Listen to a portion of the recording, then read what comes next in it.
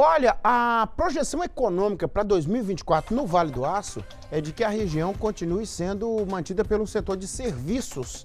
É, de acordo com um pesquisador, a razão está ligada às demissões no segmento industrial. Nesse período, a população busca oportunidade no mercado de trabalho, né? De várias formas, entre elas naquilo, aquela palavra moderna, empreendedorismo. A palavra, a reportagem está aqui, pode balançar. Abril vai fazer um ano que a Aline decidiu abrir um estúdio de maquiagem. A minha paixão pela área começou porque eu sempre quis, na verdade, empreender. Então, eu fui produzir um estúdio aqui em Patinga e eu apaixonei pelo estúdio, apaixonei pela área e quis seguir essa carreira. Em 2023, o Vale do Aço fechou o ano com a abertura de 1.888 microempresas.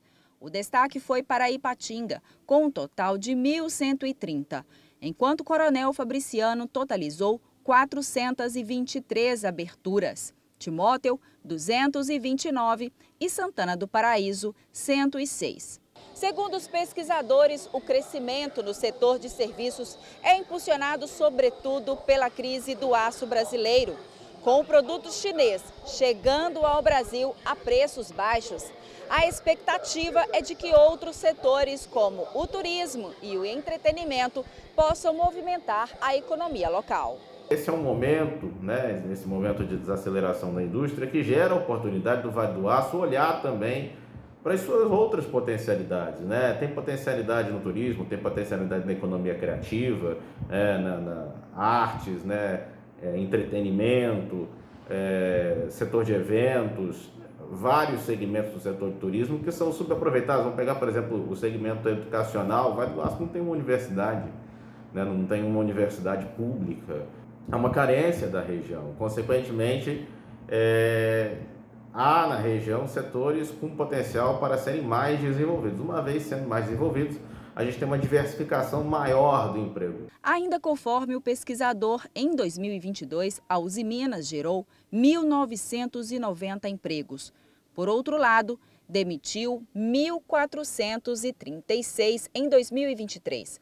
Com a instabilidade no setor siderúrgico, para este ano a expectativa é que a economia regional continue sendo puxada pelo setor de serviços. Essa situação em que a gente deixa de depender tanto do emprego da indústria né, e passa a depender mais do emprego de outros setores é uma situação que a gente chama de diversificação produtiva, diversificação econômica, e isso é uma coisa importante não só para o Vale do Aço, como para qualquer região, e é algo que o Vale do Aço poderia colocar na sua agenda, poderia passar a olhar, porque é isso que fortalece a economia de uma região.